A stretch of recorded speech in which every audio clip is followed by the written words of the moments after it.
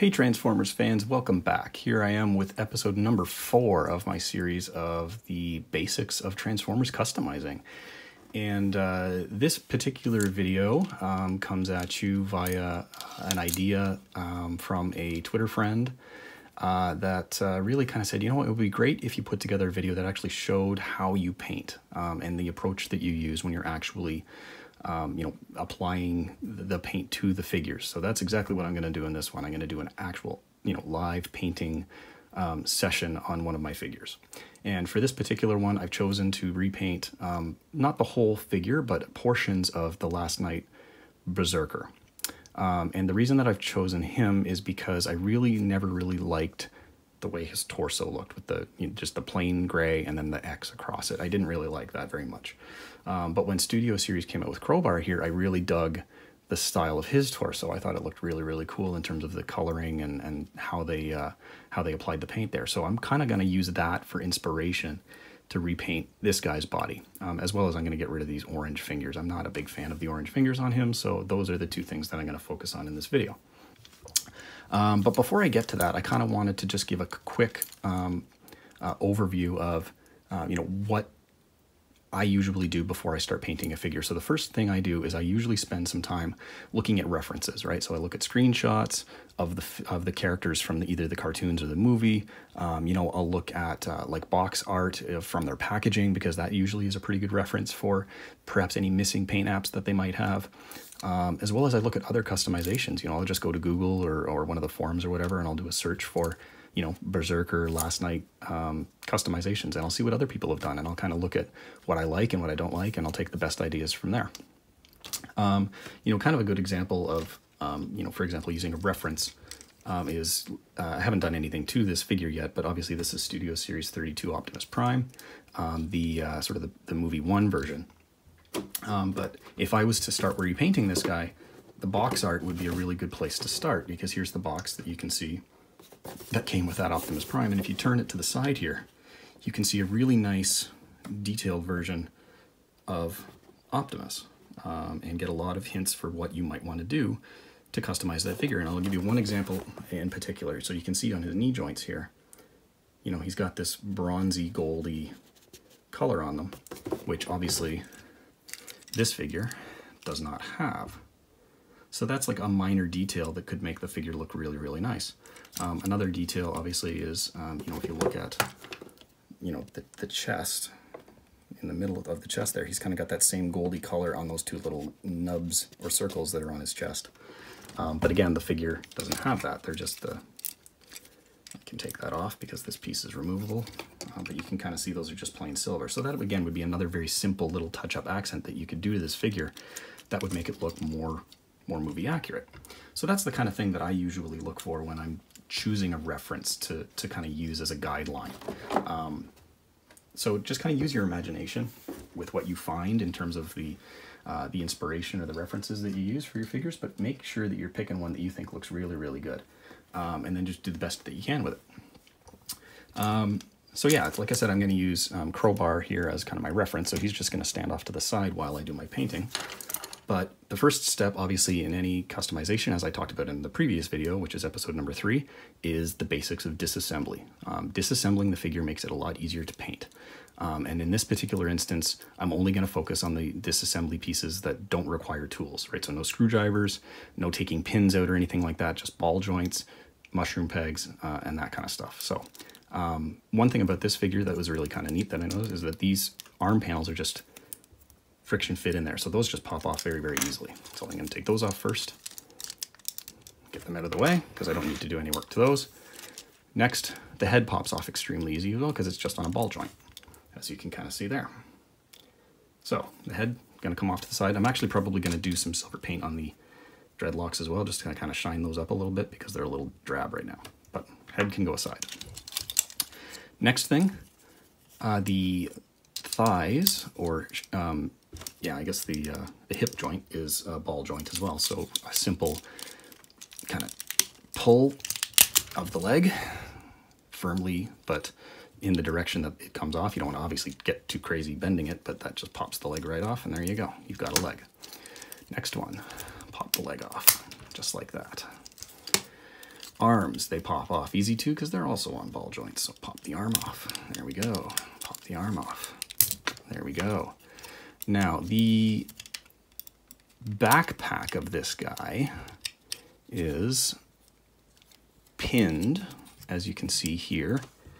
Pins, pins, pins. So what I'm going to do is I'm just going to kind of fold it out of the way as best I can. But that's going to have to stay on there as I paint, which is fine because that actually will give me kind of like a handle to hold on to as I'm painting the body. So that works really, really well. So now I've got this um, kind of torso hovering there with very, very little stuff around it that is free game to paint. And I'm not going to have to worry about getting a lot of slop anywhere because I can just hold it by the backpack. And then when I'm putting it down to dry, I can just lay it on the backpack and nothing's going to happen to it. So this is actually a very good example of what you can do if you just do a little bit of disassembly. So now that he's in his various pieces, uh, I'm going to start choosing the paints that I'm going to use, or I've already selected them, but I'm going to go through them. So the base paint that I'm going to use is this paint here, which is an acrylic model paint from Tamiya, and it's the XF56. So it's a metallic gray paint, so it's got a metallic fleck to it, you can see, but it's a matte finish, so it's not doesn't have a gloss finish on it. So it'll give a nice kind of brushed metal or um, you know bare metal look um, as I put it on. I've also got semi-gloss black here, which is good for doing uh, kind of the the non, you don't really want it super shiny, but you also don't want it super flat sometimes. So that's where the semi-gloss black comes in. And this is again a Tamiya acrylic X18. And then I've also got flat aluminum. So this is kind of like another version of the metallic gray, but as you can see, it's a much shinier aluminum color rather than a dull metallic or a, a, a gunmetal gray. And again, that's a flat color, so it's not gonna have the shine to it. It's kind of a nice brushed metal look to it. And then I've got my basic red, and this is actually a gloss red, so it's going to be very vibrant, um, and for some accents, it's going to look really, really sharp. So again, these are all acrylic paints. I find them very easy to work with because they clean up with water. And then for my brushes that I'm going to use, I've got three different sizes that I'm going to use today. So I've got this very, very fine precision tip brush, which is good for some detail work. Oh, let's see, there we go.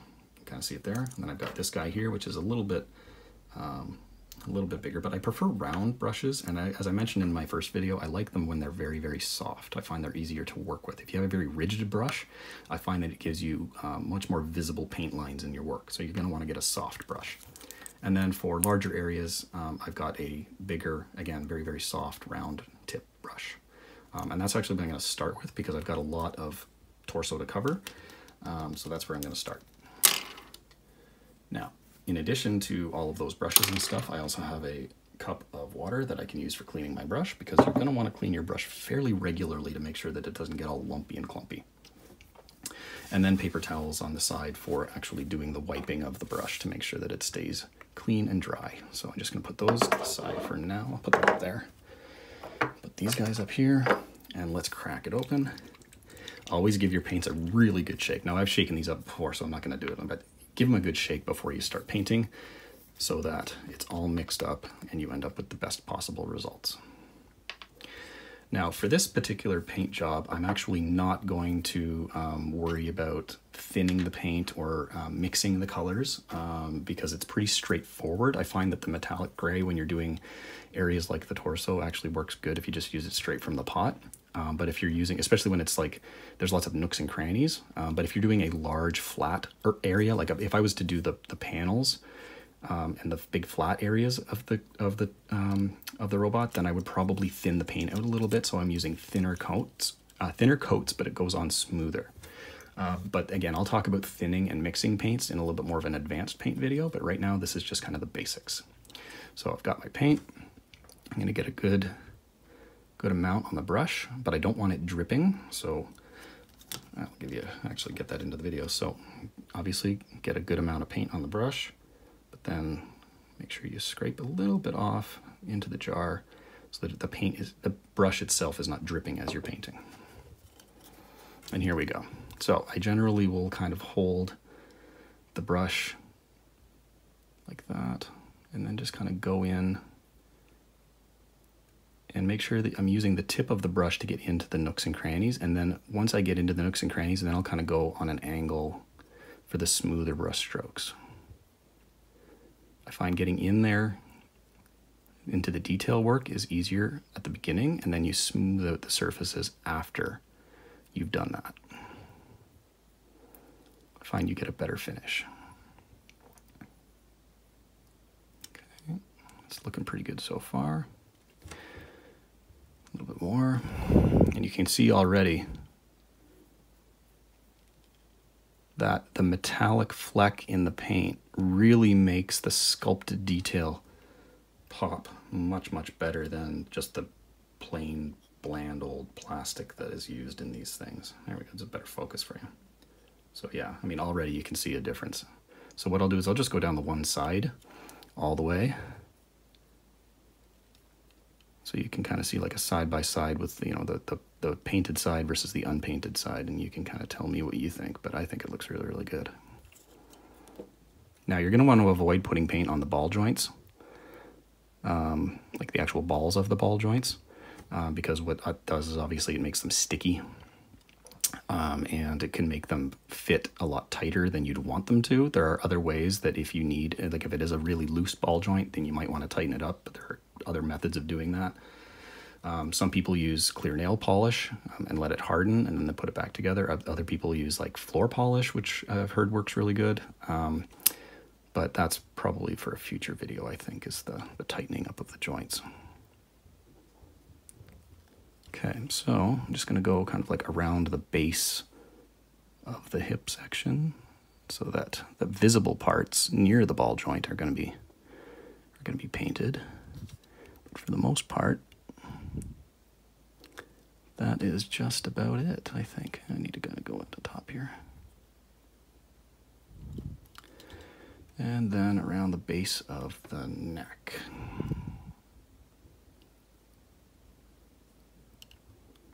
Like that. Now, one thing I really like about this metallic gray paint is that it's very forgiving. Um, when it dries, it looks really, really good, even if you've kind of maybe not gotten as thick of a coat as you wanted to, or maybe it's too thick.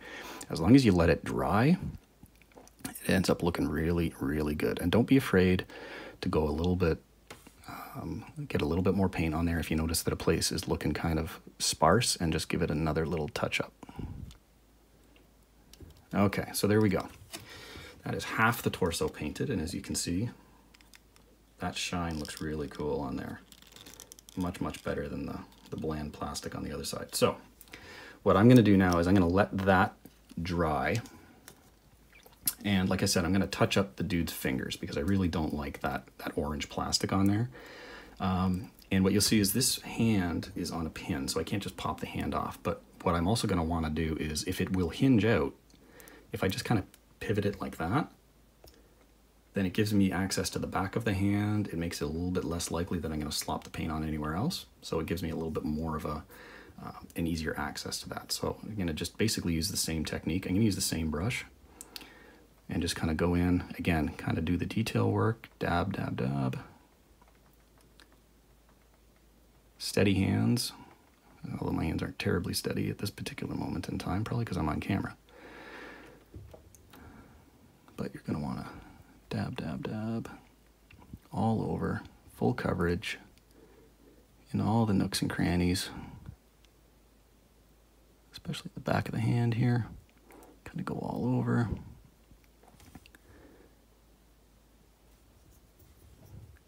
And cover up all that nasty orange rust, rust shaded paint that is on those fingers because I don't like it. And now He's got a really cool looking metal claw hand. It's much more Decepticon like, in my opinion.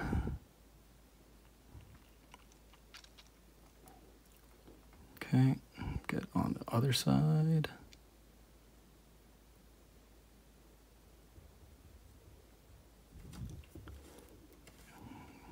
Gotta keep your brush with paint on it, otherwise, it starts to get dry and that's when you start to get clumping and more visible brush strokes. Again, this is all, the more you do it, the better you get at it. I mean, it's like with anything, right? The more you practice, the better you get at it. So that's why I always recommend, and I did in my first video, start with the wheels because the wheels are super, super easy. They're not intimidating to to paint a wheel, and they really give you the, the the practice that you need before you start getting into more advanced ones. So there's now his custom painted metallic looking claw, which let's compare it to. You know, I mean, which one would you rather have on your your bot? And how long did that take me? About 15, 20 seconds. What a difference, right? Hardly anything to it, but makes a huge difference in how it looks. So what I'm going to do now is I'm going to let that dry. But I'm also going to show you quickly while that is drying how I clean my brush. Kind of push it up against the, the bottom of the, the water. Just fan it out. You can kind of see it there. And then if I need to get in there with a finger, just to kind of give it a little extra persuasion. And then just dry it off on the paper towel. You can take the paper towel up and kind of like give it a little twirl in there, but you're not gonna wanna like mash it down because then you end up with a paintbrush that's like all frayed out and terrible. You're really gonna wanna try and keep that brush in the shape that it's in for best, best results.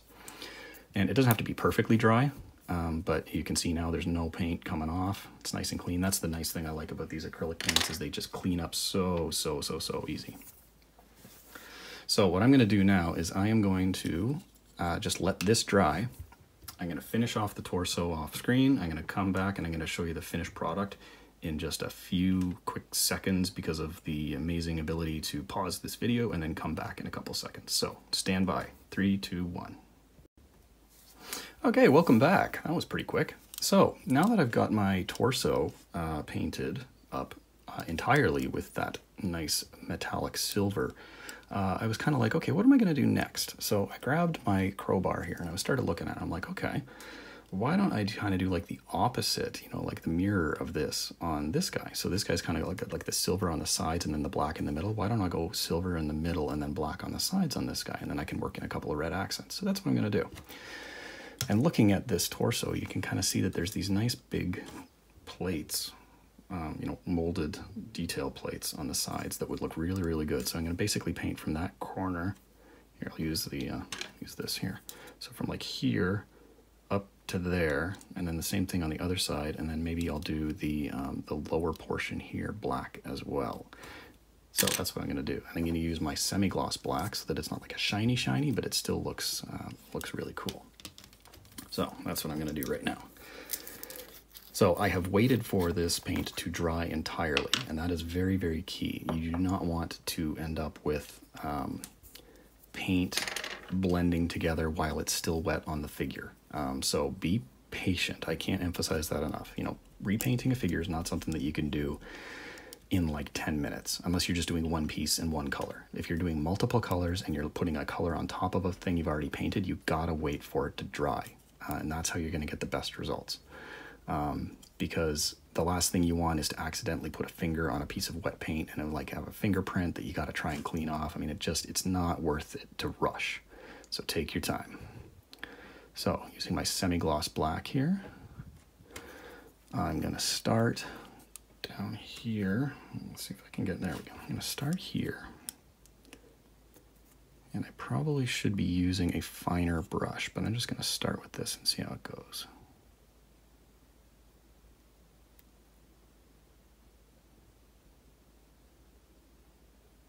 Not so bad.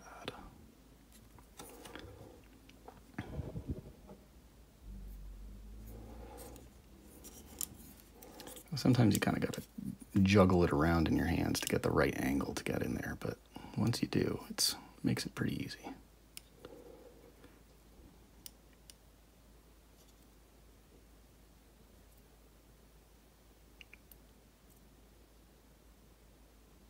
And you want to use the panel lines of the robot as your as your guidelines, right? They make really good borders for where you start and stop.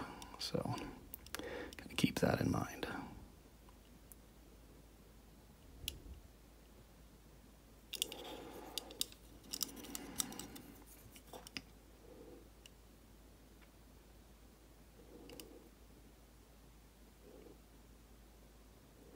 Slowly but surely get closer and closer to the edges.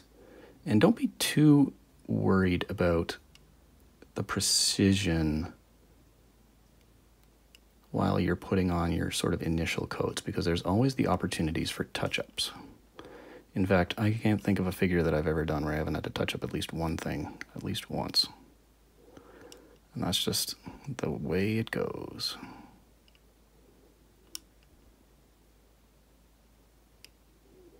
All right, so that's kind of one side done. You can see it's glossy while it is wet, but it will dry with a much more kind of flatter finish to it. So what I'm going to do is very gently, while that is still drying, and this is not something I recommend doing, but just I'm going to just see how this looks. So I'm going to grab one of the arms, the right arm, that I've painted. Oh, that's the wrong one. And I'm going to see how it looks with that.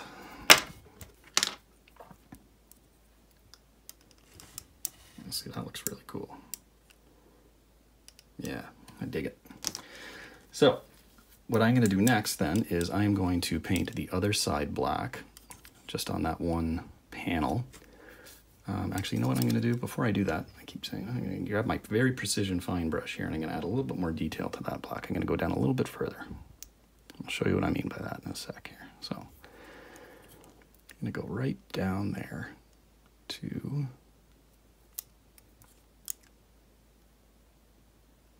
the edge. There we go.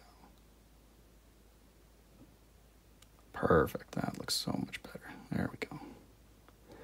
Nice. All right. So that piece is done. What I will do is I will pause the video again, I will hit the other side, and then I will come back with you when that is dry, and we'll do some red accents, and then we'll pretty much be done this guy. So, three, two, one. Okay, here we go. So, as you can see now, I've got both black sides done. I've got his little, I just did a little accent of black um, on his uh, crotch there. Um, and I've snapped on his legs um, just for, um, give me a little bit easier way to hold on to it at this point, um, simply because most of the body is done. Um, and we're moving on to sort of the final stages, which is I want to throw some red accents on this guy. Now, a couple of things about the red accents. You'll notice that he already has some red accents on his knees, and this isn't going to match. It looks like it looks like it might match on camera, but when in close, uh, up close in person, it won't. So what I'm going to do is I'm actually going to use this red paint and touch up the red here, as well as these two little panels right there and there on his shoulders. I think are going to look really cool with red accents. So those are the two that I'm going to do. So let's get this red going here, and we'll see what we get. But I'm thinking this is going to be a nice little way to finish him off. Okay, so I'm going to use my medium-sized brush. And I'm going to start, I'm going to start actually on his shoulders. I'll do those first, just to sort of see what I'm working with here. So get some red. And then very, very gently start throwing the red on the panel. Now, red I find is one of those colors where you're probably going to have to do two coats simply because it doesn't always cover 100%. So I'll probably have to do two coats of red. Let's just see. So there's one done. There's another one. And before anybody chimes in, yes, I know this isn't movie accurate because I'm just kind of picking the pieces that I want to do, but you know what? Sometimes that makes it fun, and I'm okay with that. Other times I'm a real stickler for movie accuracy, but when it comes to these kinds of things, Sometimes I just like to do my own thing. Alright, so I'm going to get that little piece on there.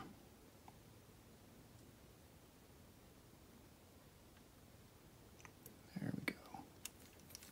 So you can kind of see, if I zoom in close, you can kind of see that the metallic gray is peeking through a little bit, which, you know what, actually, I might let me just leave it like that because it kind of looks makes it look worn. Um, so if you want a perfectly pristine, you know, bright red color consistent across, you might want to add another coat on there. But I think I'm actually going to leave that the way that it is because it kind of looks like it fits with them. And you know what? That red on his knees is matching better than I thought. So I'm just going to leave that the way that it is. So, oh, that's out of focus. Yeah, there we go. Okay, so there basically we have is the very minor, simple paint touch-ups that I wanted to do to this guy. So I'm going to seal up my paint so I don't get it anywhere else. I will clean up my brush shortly after this video because I don't want it to get all gross. But you know what? I'm to kind of just reassemble them so you can get a look at what the finished product looks like. Now, does this one go? Yeah, this one goes on this side like that. Folds in. Put his arms back together like that, like that. And his head, put his head on gently. Uh, now, you know, I'm just noticing that those are covered up by his dreadlocks, so I'm going to have to go back in and do a little bit more touch-ups later. But, um, yeah, that didn't work out the way that I wanted it to. However, let's, uh, yeah, well, you know what? It is what it is.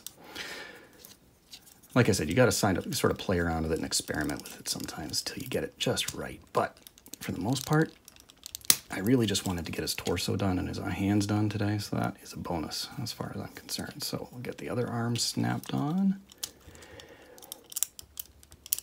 There we go. And now we have a slightly customized Transformers The Last Knight Berserker. Right? Right. There we go. Let's get that out of the way. Yeah, I am definitely going to have to do some more touch up on him, some more paint work on him, but it's the general gist of it. I mean, you can kind of see what I was going for there. Definitely did a good job of cleaning up his torso. I like the black bars coming down on his side. I might actually do some more black in the middle or something here. I'm not really sure, but yeah, you know, let's get creative and we'll we'll kind of see um, see what we end up with. But uh, yeah, I mean, it's it's pretty simple, um, and those are the basics of how I custom paint a transformer. Like I said, you want to do some uh, research ahead of time. What do you want it to look like? You know, what is your reference? What do you think it should look like, and go from there. You know, start small, do some small touch-ups, do some small panels.